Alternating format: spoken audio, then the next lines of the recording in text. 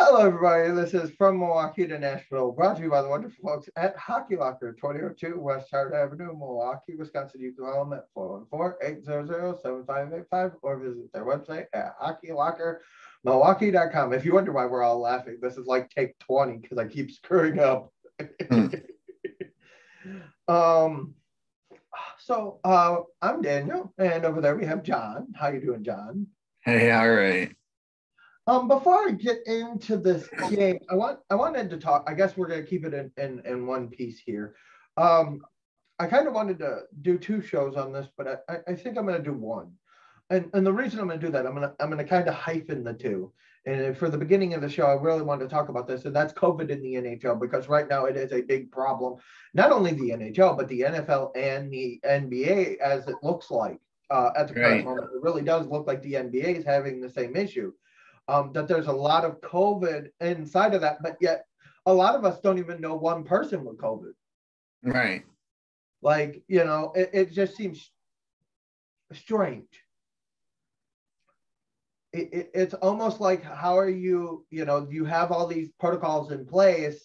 How is this happening? Kind of thing. Right. And from what I've heard, most of them are vaccinated. Yes.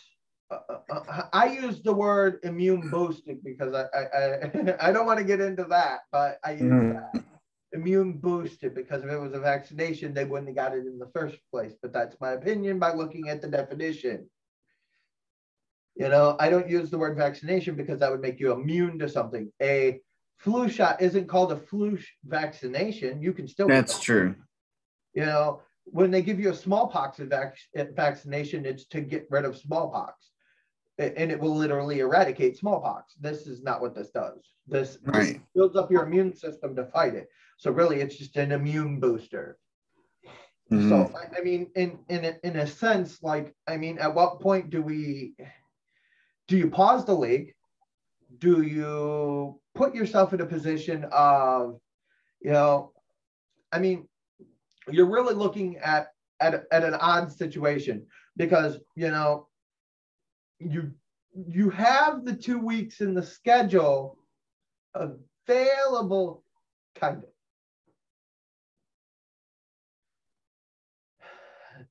Uh, you know, you have two weeks in the schedule available, kind of. If you tell the players, hey, we'll pause the league so that you guys could all fight COVID and, and get your teams back to full strength, or we can keep playing and we're going to have these problems but you guys could go to the Olympics.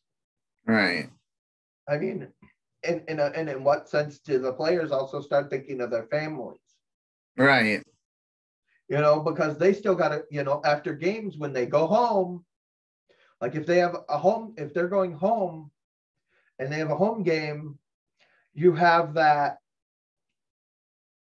you know, you go home to your family. Some of them have kids, newborn babies, young kids you know, and I'm not just talking the Preds, I'm talking overall the whole league. Right. Know? Um, you know, uh, this is this is a concern because like today's Preds and Avalanche game, this game should have never the puck shouldn't have been dropped. Right, it shouldn't have. The puck should not have been dropped, but it happened. I, I I'm just saying I, I'm not saying that the outcome was horrible because both teams played a good game. It was still a physical, hard fought game. Right. At what point are you, you know, now you've risked all these other players because COVID takes a few days to incubate. What if, you know, you're now in this situation where without pausing the league, you're not gonna, you're not gonna win. You know, you right. keep pulling in new guys till you're blue in the face, but eventually you're going to run out of talent or you're going to be having ECHL players playing in the NHL. Right. You know? Um, I mean, it's just a, and, and and the Preds are every team is allowed 50 players. So to be signed to contracts.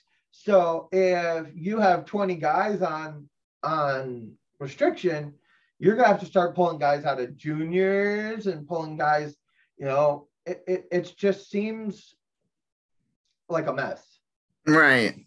And, and it, it's something that I don't think that they planned for.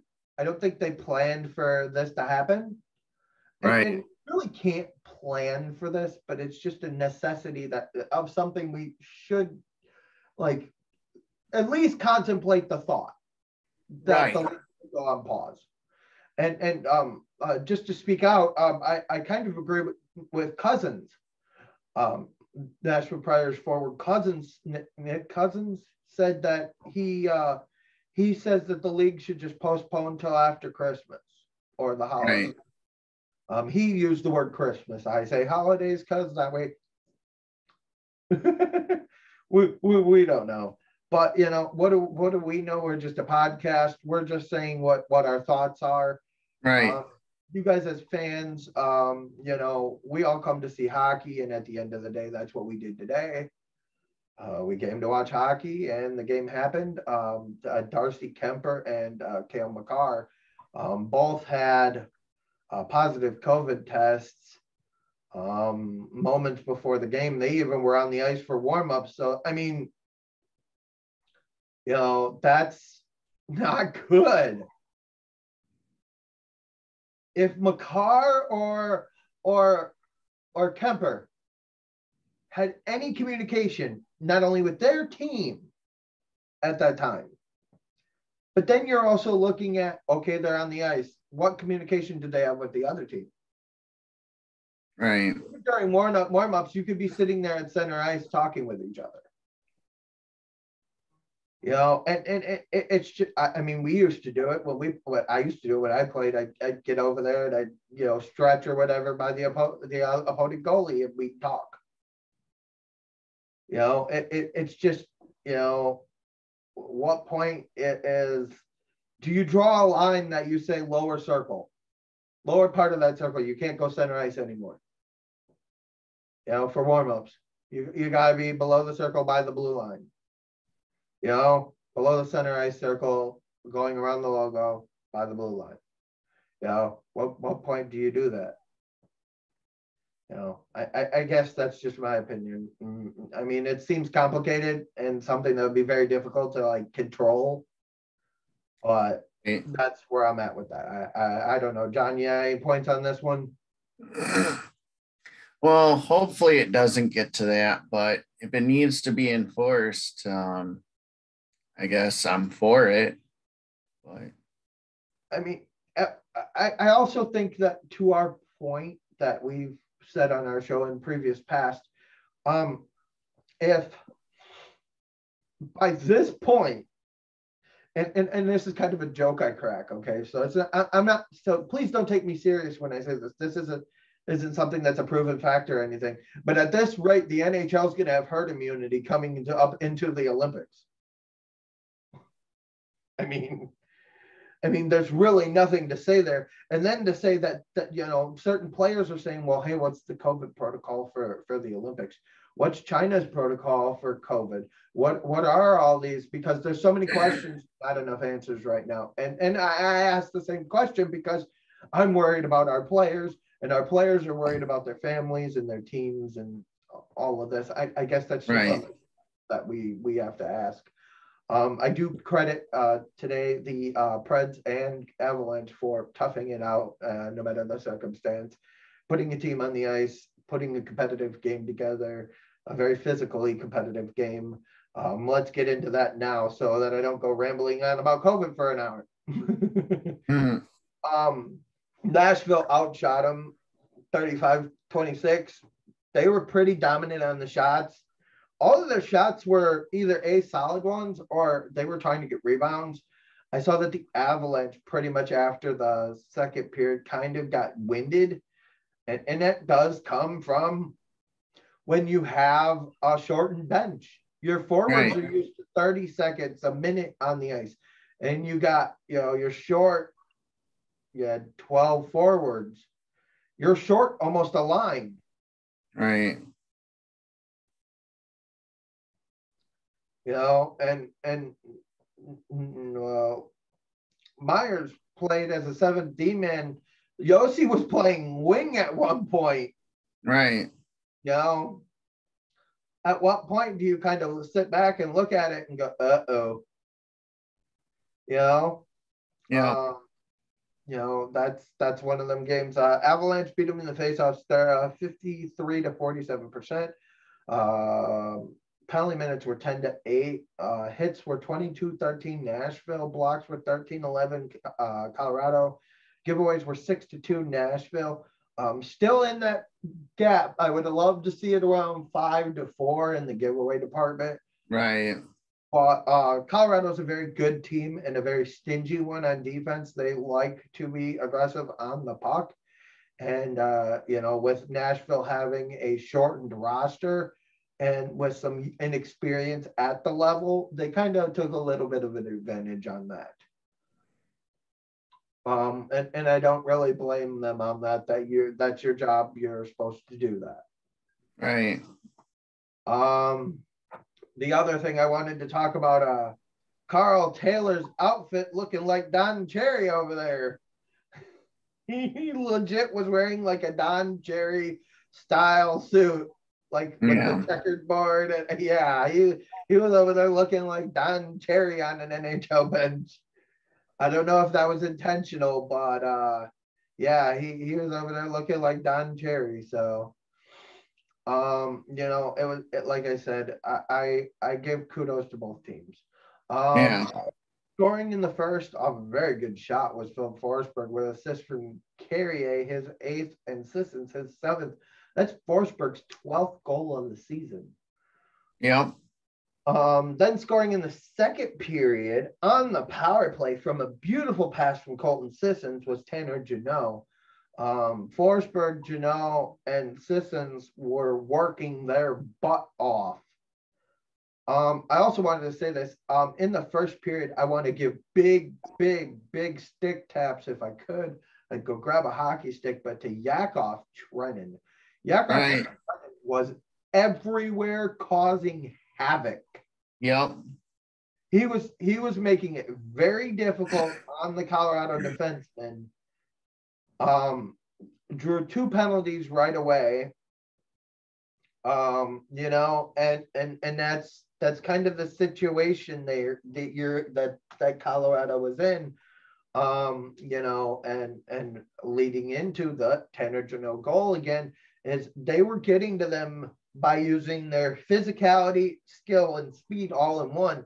And that's something um, I think this Preds team uh, uh, really prides themselves on is next man up mentality.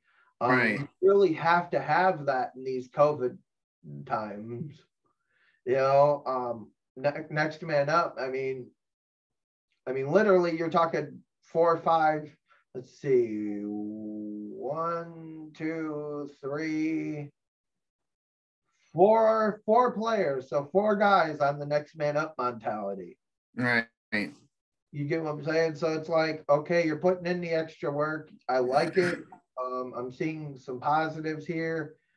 Um, you know, um, also on the uh, Jeannot goal, uh, Forsberg got an assist. Uh, then scoring on the power play was Mikko Rantanen with an assist from uh, Nemzov Kadri, his 27th, and uh, MacKinnon, his 21st, uh, Rantanen's 14th. Um, I did want to talk about the call on that one. That was, uh, we believe that would be interference on Alexandre Carrier for that goal. Yep. Um, MacKinnon kind of drew that one, but kind of initiated it too. I could have seen that going the other way. Right. You know, cross checking to the back and then, you know, I mean, I don't blame Carrier for retaliating. Yeah. But at the same time, when you retaliate nine out of 10, you're going. So keep your head together. And if he cross checks you, you go down. All right. If he cross checks you in the back, you go down. That way you get the call. You know, start if players are going to play you like that, then you you start doing those little things. But I do like the fact that he stood up for himself.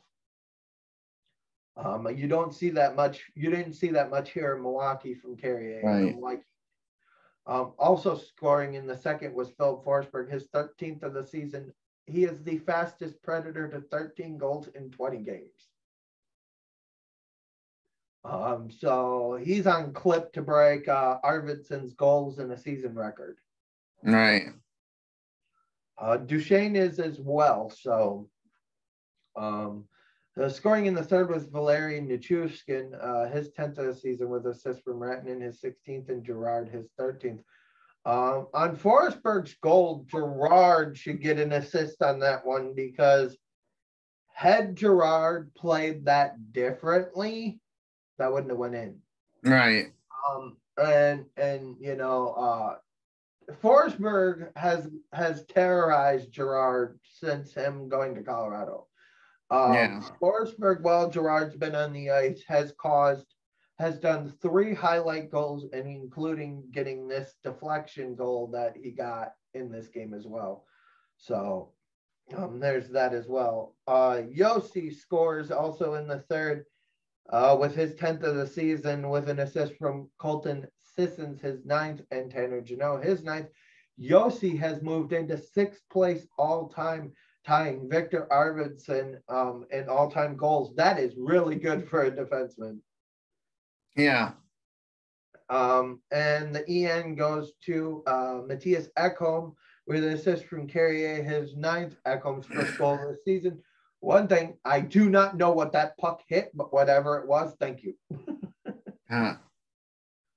Because that was one of them games where it's just like, oh, how bad is it? You know? Right. How bad is this going to be? You know, because you start to worry about it, you know? Um, in that for Colorado, because Kuemper was out with COVID, uh, was uh, Pavel Francouz, uh, uh, draft pick of the Colorado Avalanche. Been in the system quite a while as well. I believe he is their backup at this current moment, uh, stopping 30 of 34 with a .882 save percentage, but he did a lot better than what, what I would have expected given the circumstances. Um, the circumstances being that Nashville peppered him all game. They were in his face all game. Um, they did not give Colorado an inch of ice. Right. And that's something you want to see when stuff like this happens. Yeah. In net for the Preds is Juuse uh, Saros really kept him in it in the final minutes of this game. Within the last three, he was making some really good saves, stopping 24 or 26 with a .923 save percentage. Preds win their sixth in a row. Head coach Karl Taylor at the uh, for the day at least, or for the current moment at least, um, the head coach for the Nashville Predators is Karl Taylor. Um, head coach for uh, Colorado is Jared Bednar.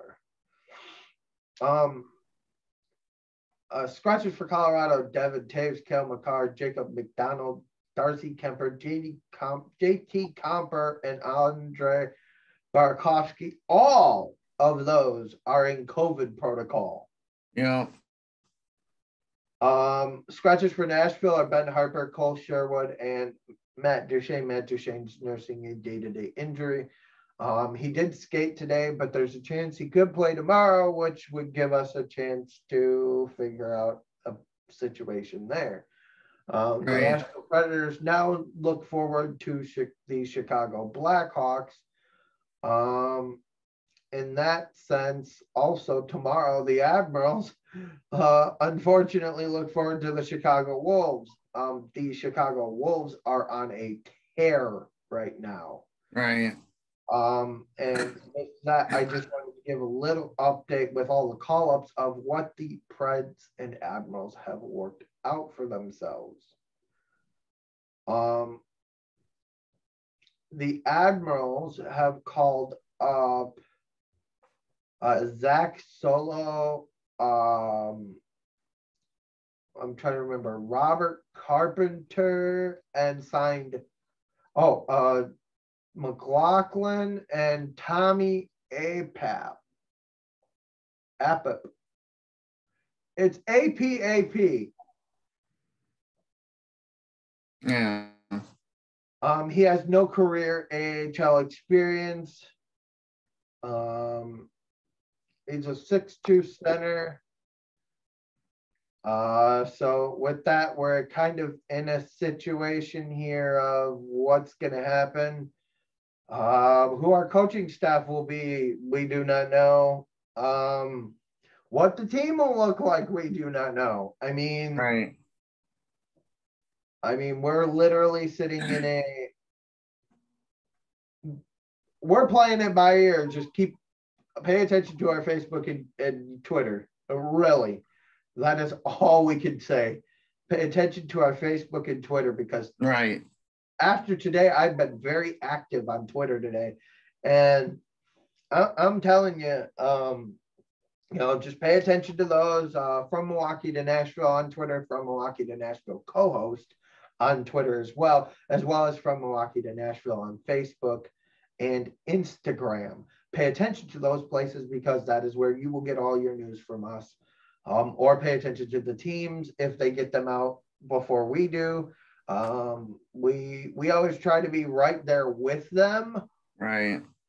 Um, but that's not always the case given sometimes we may be uh, taking a pregame nap, we may be eating, we may be spending time with our families. We don't know, but we get to it as soon as possible.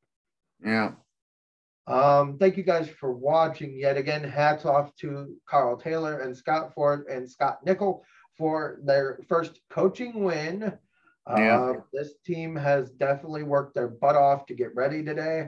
Um, the Admirals are practicing tomorrow morning early, so we will see how all of this pays off. We will see how all of it goes. We know that these teams can be good. We know what what we, the Admirals fans know what we sent you guys. We know what we sent you, and I saw one heck of a game from Cole Smith. Right. No, he I, I don't see that from him here.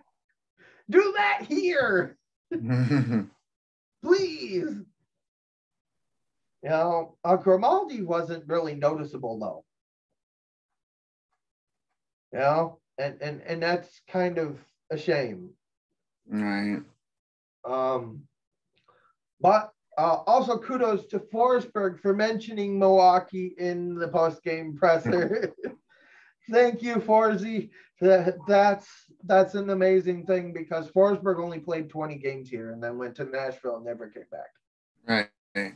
But for him to to even think of us is it it just means so much to us here. It just lets us know that we leave an impression and a memory on these players. And that's to us is so special because we're normally their first stop on their career. Right. And and that is such a special moment because for us, we like to make sure that we're remembered because we, it's just who we are. we like to win. We like to have fun. Our chant section's a blast. To some people, they find us annoying, old, and outdated.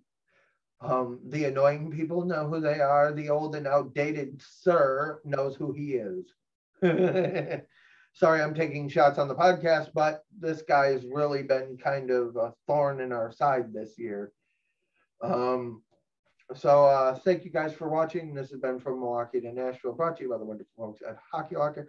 Don't forget to follow us on Twitter at From Milwaukee to Nashville and From Milwaukee to Nashville co-host.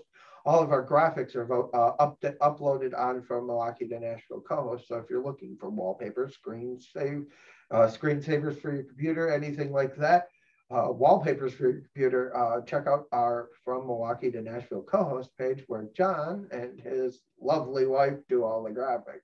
Yeah. So thank you to all of you two as well for this. I know that this this podcast can be grueling, especially on bad days, but we uh, we put our head hold our head up and uh, look at it as a shining moment sometimes. Yeah. Other times it can make it worse. it all depends on how the product on the ice is but you know we always try to find the shining light in something and the shining light is and this is the Preds have won six in a row moving into third place in the league in the league. Right. We are in third place in the league. I wouldn't have said that at the beginning of the season. Right. There's no way i would have said is it third in the league or third in the conference I saw that that somebody had posted that we moved up in the uh, rankings. So I'm going to do a quick little double check here. Minnesota lost in OT, but they're first in our division. So uh, we are tied for second with, and I can't believe this, but St. Louis. Mm. Um, and we have won six in a row. Uh, the uh, we are eight and two in our last 10 games. We've been playing some really good hockey. Uh, yeah, we have. On, on, Chicago, they always got Flower back there. They've got some good hockey players. Do not sleep on Colorado. They have some good hockey players. Winnipeg and Dallas have some good hockey players. This is a very tough division to win. All right. Um, kudos to Minnesota. Kudos to Nashville. Nashville's bumped their uh, plus minus differential in the last month from negative three to plus nine. Yeah. Um, you know, uh, six game win streak is is is insane because if you look at the flip side of it, Arizona's on a six game downslide. You know, right. and, and, there's nobody outside of Vancouver who's now won five straight. Um, uh, also, uh, Pittsburgh's won five straight, but nobody's won six straight yet.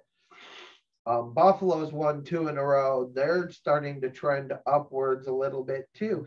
It's just you know you got to be patient with your builds and be patient with your with your system. Uh, the current playoff situation, it, it, it it's it's weird because looking at it, I know the playoffs seem so far away, but your wild cards are Colorado and Edmonton, and nobody would have thought that coming into the season. Right you know, uh, Calgary, Anaheim, and Vegas tearing it up like they are. Uh, Minnesota, Nashville, and St. Louis tearing it up like they are. Now I could see St. Louis and Colorado flops switching. I could see Nashville and Colorado switching. I, I, I could see Edmonton going up into where Vegas is. It, it's just a matter of of what happens. Um, you know, Arizona's pretty much out of it. Right. Five wins. You're at 28 games. I mean, you could still get in it, but you're practically out of contention, you know. And and then the same thing for Montreal. So, um, you know, if Montreal can get healthy, yeah, there's a chance to turn it around. I mean, you still got over half a season left to play, but you know, all these games, you know, uh, in the league currently, Nashville is ninth. You know, and being ninth in the league at this point in the season, it's somewhere where I wouldn't have thought we'd be. It's nice to be there. Right. I'm glad we're here. Um, you know, I, I'm I'm really looking forward to what happens in the future for us.